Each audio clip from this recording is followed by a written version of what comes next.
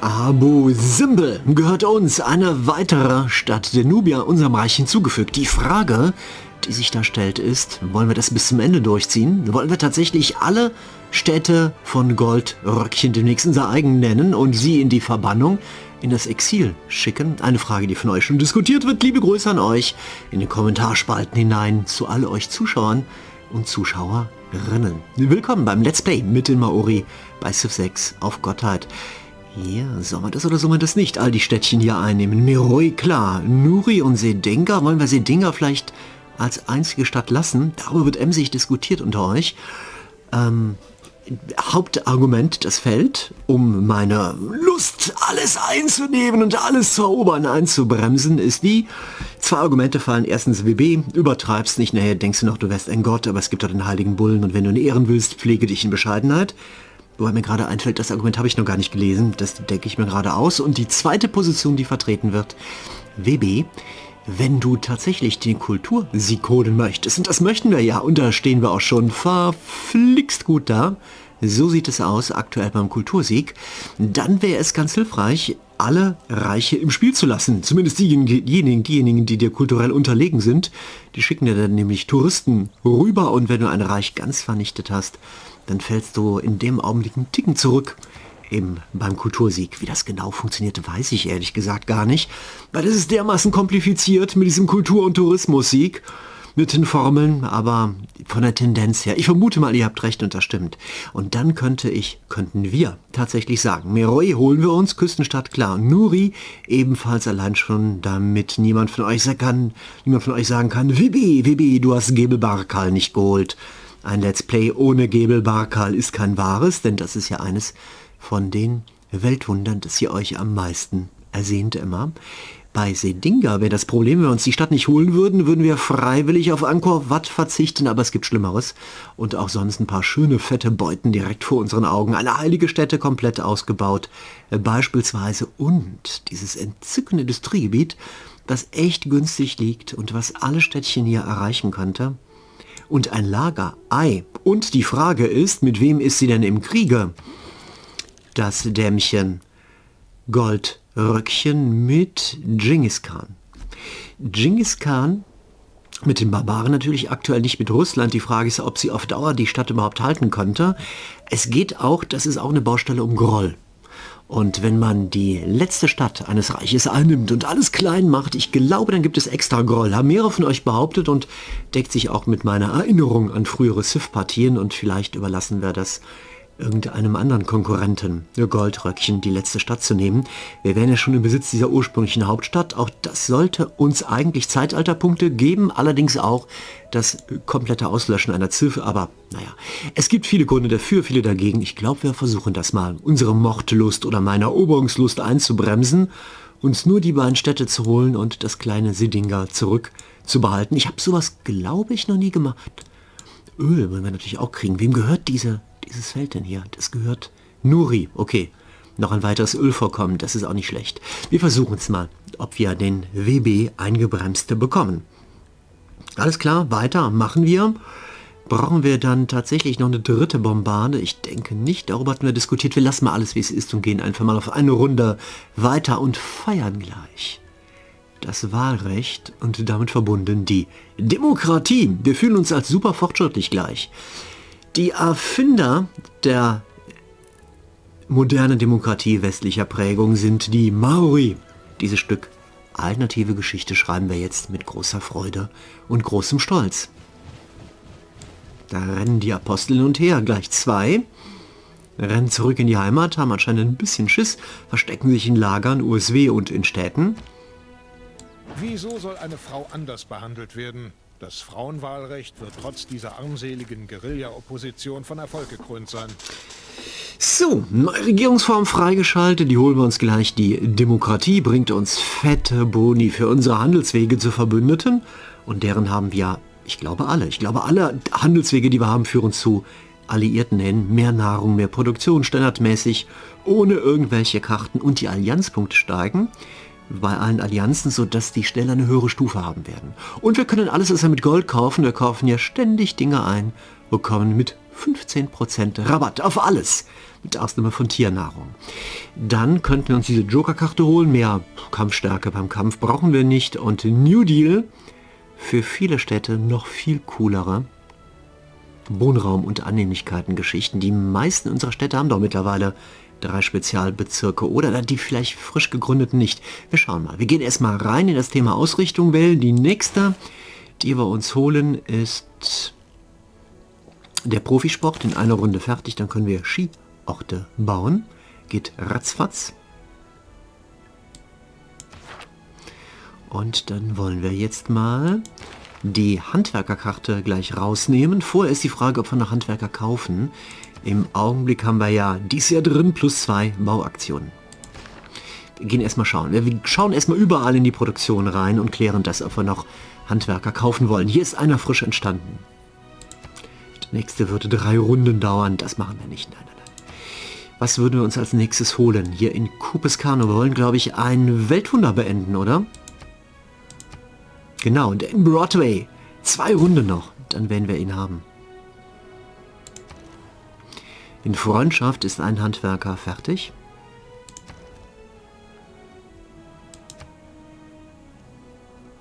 Lager haben wir viele. Wir wollten ursprünglich die Waffenkammer bauen, damit wir einen Militärpionier hier oder woanders kaufen könnten. Wir haben allerdings, glaube ich, mittlerweile eine Stadt mit einem Lager und einer Waffenkammer erobert von den Nubiern uns gemobst. Seehafen, noch mehr Nahrung, noch mehr Gold, USW, Flugplätze, Sendezentren, natürlich. Wir wollen doch die Musikanten bekommen, die großen Musiker. Äh, Wasserpark, nein, nein, nein, Wohngebiet. Ja, aber wohin? Ist ganz oben vielleicht noch Platz für ein Wohngebiet? Nein, das da oben ist jenseits der Dreiergrenze. Müssten wir irgendwo hier unten hinstellen und ich weiß nicht. Wir können auch sagen, Stadt ist sehr voll. Kann so bleiben, wo wir weitere Bürger in die Bezirke reinstopfen könnten. Priorität hat erst einmal der, das Sendezentrum.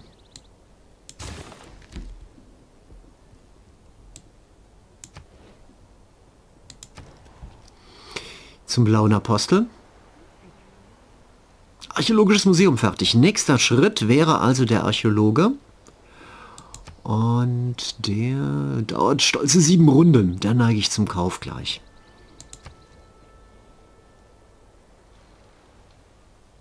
Sendezentrum acht Runden.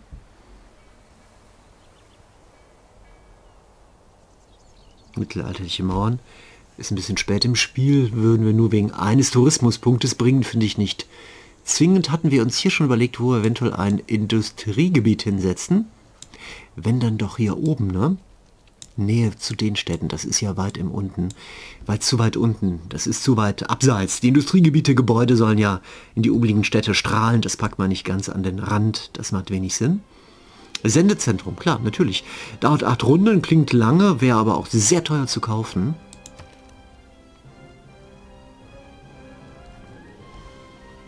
1,7. Ach ja, zwei Runden, aber können wir auch kaufen. Geht auch so. Wir kaufen, das ist der Bau, genau, wir kaufen lieber diese Geschichtchen mit Archäologen, mit ähm, Museen und so weiter und so fort. Valletta, Marei abgeschlossen, das ist cool. Nächster Schritt, Kunstmuseum oder Archäologisches Museum. Da hatten wir zuletzt auch länger drüber nachgedacht, ob wir mittlerweile wieder ein Kunstmuseum brauchen könnten und machen es erstmal nicht. Schiffswerft bringt sechs Produktionen und ein Produktion für jedes Feld hier in der Nähe, was nicht modernisiert ist. Das gilt, glaube ich, sogar auch für das Naturwunder hier, ne? für die Halongbucht. Ich denke auch, das macht Sinn. Dann geht alles andere viel fixer. Wir haben hier plus 44,8 da bekommen wir locker mindestens 10 Produktionen drauf. Ich schätze mal, ganz grob. Schiffswerft wird gebaut. So, und jetzt haben wir noch genug Geld übrig, um einen Archäologen zu kaufen oder um, um uns zu sagen, hey, wir wollen doch irgendwo einen Bauarbeiter haben. Wo brauchen wir welche? Hier. Ja, Bauarbeiterkarte, wenn ich natürlich gewillt, die Demokratie einzuführen, damit wir 15% Rabatt bekommen für Goldkäufer, aber dann ist wiederum die Karte futsch. Oh, schaut mal, in Sedinga wird rebelliert? Das ist ja spannend. Das ist ja interessant. Wow. Loyalität schwindet. Ich wette wegen der Kriegsmüdigkeit. Zufriedenheitsstufe minus 6. Ich wette, das ist, weil die Bevölkerung murrt, weil der Krieg so mies läuft. Das ist ja krass. Und an wen würde die Stadt dann fallen? Nach jetzigem Stand? Weiß man nicht, ne? Ist Spekulatius.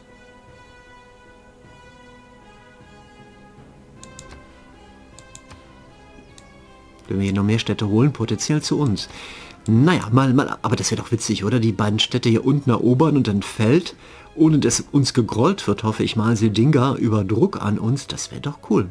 Wobei die Russen hier auch stark sind. Wir gehen mal da rein davor. Also erst ist die Frage, äh, wie man, wo brauchen wir noch einen Handwerker?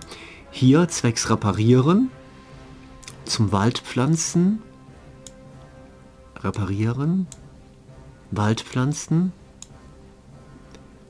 genau. Also eine hier zu haben wäre nicht schlecht. Wir kaufen mal direkt hier an Ort und Stelle ein.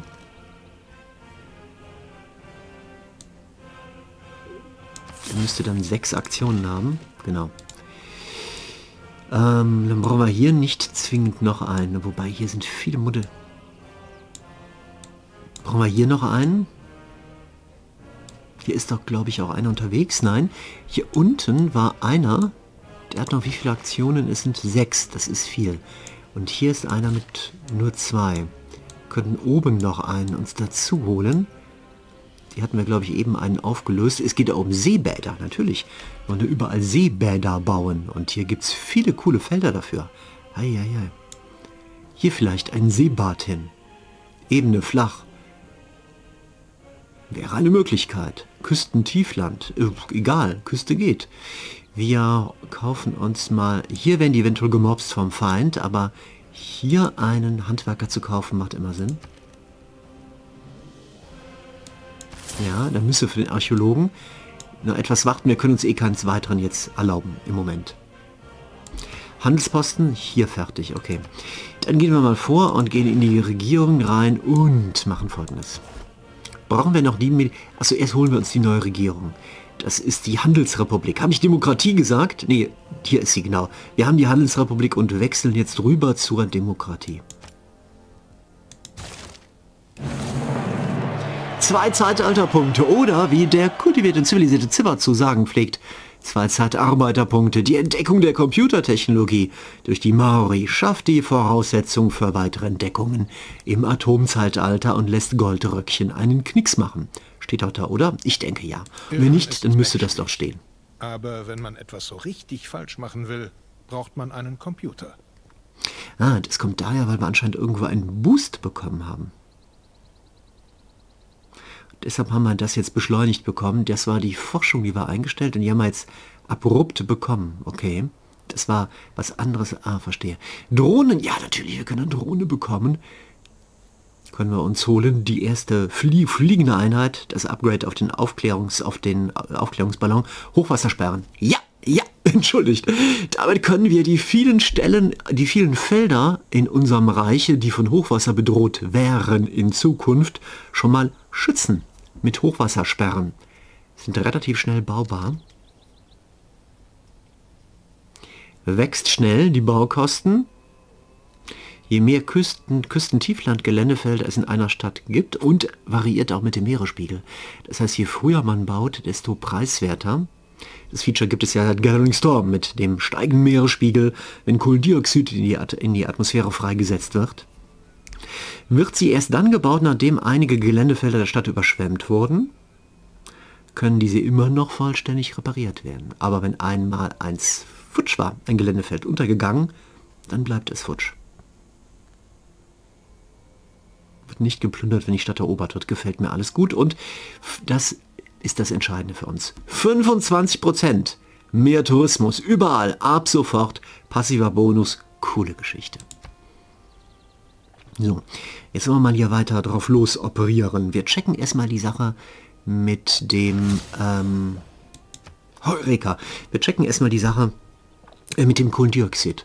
Das Klima ist hier bislang noch gar kein Klimawandel. Wir sind so schnell in der Forschung und das in der naturwissenschaftlichen Forschung so schnell, obwohl wir so lahmarschig waren zu Beginn, sind wir mittlerweile so weit vorangeschritten wir selber verzichten ja auf Kohlekraftwerke bislang, dass wir, dass es noch gar, gar kein ernstzunehmendes Klimaproblem weltweit überhaupt gäbe, gegen das wir arbeiten müssten, durch Hochwassersperren. Alles gut, alles auf Null noch.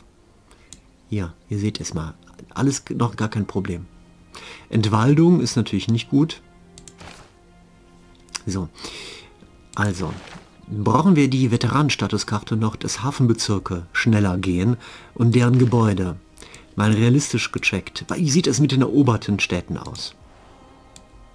Werden ja Hafen gebaut? Ne, die haben auch überall, ist ja die Bevölkerung futsch durch die... Das Reinmarschieren, neue Bezirke können eh nicht gebaut werden. Hier entstehen Händler, Aquarium. Wir, wisst ihr was, wir wechseln mal bei einer beliebigen Stadt in die Mehrfachliste und verschaffen uns mal einen Überblick, was im Augenblick überhaupt im Bau ist. Ob da Hafen im Augenblick viele, ob da viele Häfen im Augenblick und deren Gebäude gebaut werden. Und ich glaube, die Frage können wir verneinen. Eine Schiffswerft, klar, die geht fixer. Eine Schiffswerft, zwei Schiffswerften. Sollen wir für zwei Schiffswerften die Karte drin haben? Nee, ne? Machen wir nicht. Die kann raus. Die einzige Militärkarte hier, die wir derzeit haben. Seehäfen, Militärakademien, Renaissance-Mauern generieren mehr Wissenschaft. Klingt cool, aber da hatte ich vor einiger Zeit mal nachgeschaut, das ist nicht so viel bei uns im Moment. Ölressourcen. Plus eine, ein, eine Ressource, äh, das ist cool. Denn wir haben im Augenblick drei, dann müssten das eigentlich sechs sein. Jetzt sind die von uns nicht modernisiert. Wir haben keine Modernisierung draufstehen. Aber ich denke, es ist gemeint mit diesem etwas wackelig, wie üblich wackelig formulierten deutschen Text, ob die erschlossen worden sind. Das jetzt zwar modernisiert steht, aber erschlossen ist gemeint. Und wir haben die ja erschlossen dadurch, dass Bezirke auf den drei unserer Vorkommen draufstehen. Also das wäre eine Möglichkeit, das rüberziehen. Was sonst denn noch alles? Mehr Geld, Unterhaltskosten für Einheiten reduziert, wo wir nicht wirklich ein Geldproblem haben. Müssen wir Einheiten im Augenblick upgraden? Nein. Können wir auch weglassen. Kampfsiege gegen alte Einheiten bringen Gold, brauchen wir nicht. Mehr Loyalität, Loyalitätsprobleme haben wir im Moment nicht. Mehr Geld durch Plündern, wir plündern im Augenblick kaum, brauchen wir auch nicht. Marineschiff, mehr Fortbewegung, wenn für alle unsere Einheiten eine meiner Lieblingskarten, die könnten wir uns holen. Und die Ölkarte. Wo sind wir mit dem Öl? Wir sind bei 28. Bis 100 können wir sammeln. Wir sammeln nur drei im Augenblick. Lasst uns das um Himmels Willen machen. Das ist auf lange Sicht das Klügste. Öl einsammeln. Okay? So, jetzt gehen wir hier unten schauen. Die Handwerkerkarte fällt raus, die brauchen wir nicht mehr und wir können drei Slots befüllen, die lassen wir beide drin. Wir checken erstmal die Diplomatie. Hier die lassen wir drin. Schaut mal, wie sich das, wie das akkumuliert. Im Augenblick haben wir durch die Wechselbanken bereits Handelswege zu verbündeten Städten plus zwei Nahrung und plus zwei Produktion und da kommen jetzt nochmal vier drauf durch die Regierungsform. Wahnsinn! Wahnsinn. Die kleinen Städte, da haben wir ja mehrere, die durch viele Handelsrouten geboostet werden. Das zieht wie, wie Tier an. Das ist echt glorreich. Ähm, die zweite Diplomatiekarte, die wir uns holen könnten, wäre Spionage setzen wir im Augenblick kaum drauf. Ja. Kanonenboot-Diplomatie, offene Grenzen in allen Stadtstaaten plus vier Einflusspunkte pro Runde auf das Verdienen von Gesandten. Aber holla, im Augenblick haben wir sieben und dadurch wären es dann elf. Ja, das wäre cool. Das gefällt mir. Auf Spionage setzen wir im Augenblick nicht so sehr, sonst wäre das noch interessant gewesen. So, jetzt noch eine weitere Wirtschaftskarte. Es bringt noch mehr Gold und Glauben für alle Handelswege. Das bringt Kultur und Wissenschaft für internationale Handelswege. Das behalten wir im Hinterkopf. Handelszentren haben wir kaum. Lass uns mal auf Annehmlichkeiten gucken. Annehmlichkeiten brauchen wir. Das Reich ist riesengroß geworden. Neu im Spiel der New Deal. Große Städte mit vielen Spezialbezirken, mindestens drei. Zwei Annehmlichkeiten mehr. Das ist sehr viel. Das sollte uns sehr, sehr helfen. Also das könnte ich mir sehr gut vorstellen. Wunder, die schneller produziert werden, ja, wir setzen viel auf Wunder, aber wir sind so produktionsstark, können wir auch knicken.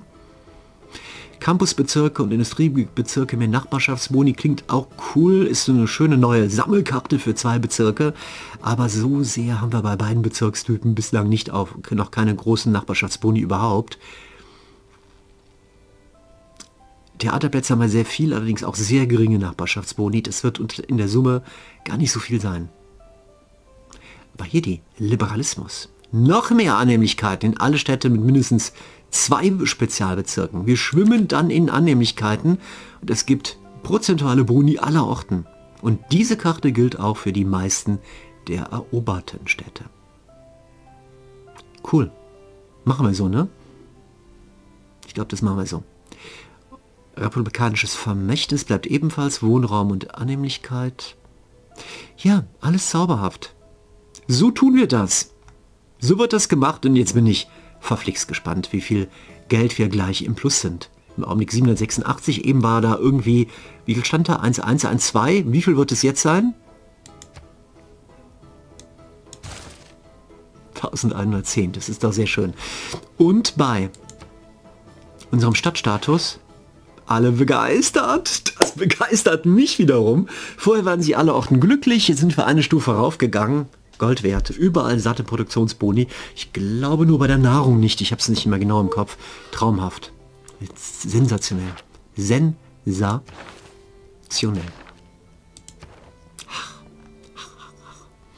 So, dann haben wir irgendwo was mit Flussüberschwemmung im Ausland. Wir lesen keine Zeitung. Die erste neue Regierungstopfstufenform. Jahrhunderte der politischen Philosophie gipfeln in einem modernen Ausdruck in der Demokratie. Der neuen Regierungsform der Zukunft. Im Reiche der Maori. Weitere drei Zeitalterpunkte. Oder ihr wisst, wie der kultivierte und zivilisierte Zimmer es zu sagen pflegt, ne? Drei Zeitarbeiterpunkte für uns, genau. Wir haben so viele, mehr als wir brauchen, des goldenen Zeitalters. Ihr gewiss, hier unten seht ihr die Anzeige. Wir haben sogar sechs zu viel. Ach, ein Traum. Weiter. Wie geht's weiter? Ähm, Hochwassersperren bauen, ja, wäre möglich, brauchen wir aber im Moment nicht. Übrigens, apropos Südsüße, hier werden wir eine brauchen. Ob wir die sofort brauchen, ist eine andere Frage. Ja, wie viel Öl haben wir mittlerweile? Immer noch plus 3, ja, ich hoffe, das wird sich gleich aktualisieren. Ich hoffe, die Übersetzung. Hydroelektrischer Staudamm entsteht. Ach, dann generieren wir auch hier Energie, dann brauchen wir hier kein Ölkraftwerk. Oh, Regierungsplatz. Wir können ein weiteres Gebäude einstellen. Dahinter kommt das Sendezentrum. Ist das schon angebaut? Bislang noch nicht, das lasse ich mal weg. Dann könnten wir danach das Kriegsministerium, die Royal Society oder das Nationalmuseum uns holen. Vier weitere Plätze für große Werke. Klar, cool. Aber holla. Das wäre für uns schön. Das wäre für den Kultursieg super. Royal Society Bezirksprojekten einen Bonus zu geben, ist sinnvoll, wenn man auf den Wissenschaftssieg zum Beispiel geht. Dann kann man den beschleunigen. Das ist jetzt nicht unser Ziel. Und dass wir hier ewig Kriegs führen, Krieg führen auch nicht. Nationalmuseum stellen wir hier hinten schon mal ein. Okay? Das ist die Hochwassersperre. Sollten wir auch schon mal einstellen, ne? Wo wird die gebaut? Welche Felder sind das bei uns? Hier, hier droht Hochwasser. Hier allerdings erst ganz spät. Das sind die Weißen sind die, die sofort überschwemmt wurden. Aber noch müssen wir uns keine Sorgen machen. Trotzdem spricht da nichts dagegen, die frühzeitig zu bauen. Dann sind die noch relativ billig. So ein Händler. Weg wiederholen. Was war der? Richtung Nazca. Achso, das hatten wir gemacht wegen ähm, eines Gesandten. Das wollen wir nicht wiederholen. Wir sind im Augenblick alle unserer Nachbarn versorgt mit Wegen. 2, 3, ja, alle sechs, die man ansteuern kann, sind versorgt. Dann holen wir uns noch weitere ja, Wissenschaftspünktchen, oder? Indem wir versuchen mal...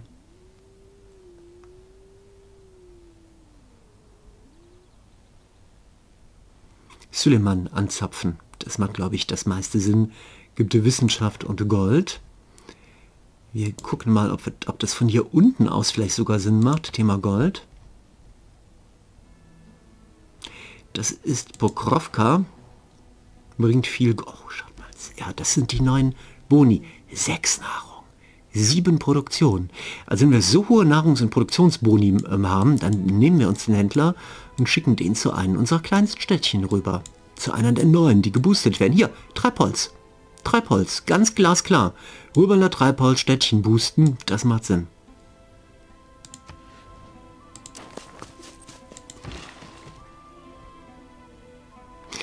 Sehr gut. Sehr, sehr gut. Jetzt wollen wir erstmal, ähm, bevor wir hier loswetzen, uns die Situation hier vor Ort mal anschauen. Wie sieht es mit Icon aus? Icon scheint nicht... Ja, die Osmanen rücken nicht weiter vor. Ähm, die hatten hier zwei Schiffchen, zwei alte. Eines ist jetzt hier unten. Berber Corsar, eine Karavelle dort oben. Die könnte in die Stadt rein, aber Icon halte auch aus, hat immer noch 140 Garnisonsgesundheitspunkte. So schnell fällt die Stadt nicht. In drei Runden würde sie rebellieren. Sieht so aus, als müssten wir hier nicht eingreifen und als könnten wir ein wenig abwarten. Und stattdessen können wir jetzt hier weiter vormarschieren gen Meroe. Wir können auch Nuri schon ein bisschen beschießen. Ja, einmal Feuer frei von hier aus.